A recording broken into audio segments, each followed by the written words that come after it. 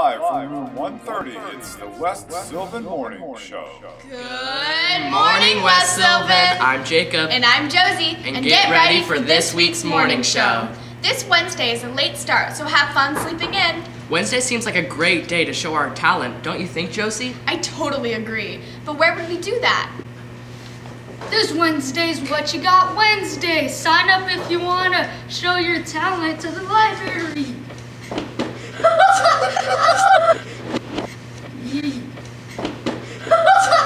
Let's go to the Youth Charity League to learn about charity hours you could do.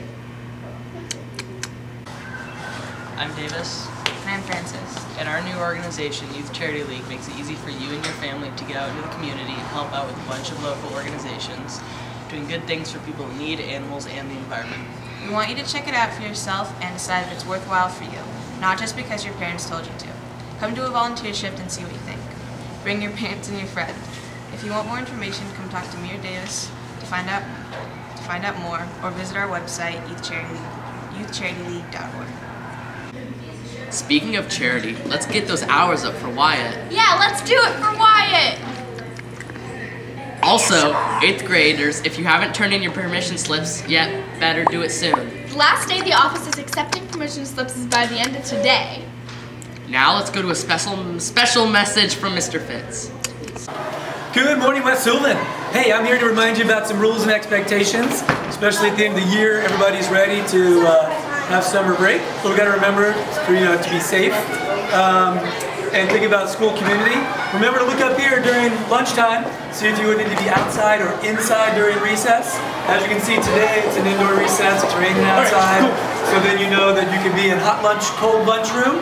But always remember about our expectations during lunch.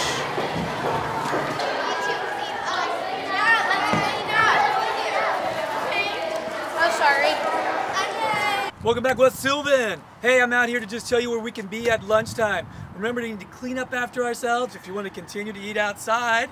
And also, be respectful, of course, keeping your hands and your feet together, away from other people, right? And finally, um, there are boundaries for a reason. We want to make sure everybody's safe. And if we need to talk to somebody or if someone's being called home um, to go to a dentist appointment or something, we need to be able to contact you. So here we go. So everyone should be actually below the tennis courts right here. You could be enjoying yourself on the swings, having a wonderful time. Maybe having lunch on the picnic tables.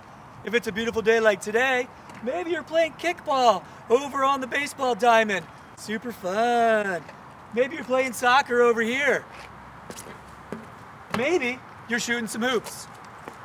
But that's the extent where we guys want you to be. The basketball courts are the last of the boundaries, so please be respectful, West Sylvan. We got a month left of school. Let's have a good time, enjoy ourselves, be respectful, and be safe. Peace out. Majestic. Well, that's all for this week. I'm Jacob, And I'm Josie. and we'll see you next week. Jacob number two. And in the personal columns, there was this letter I read. If you like pina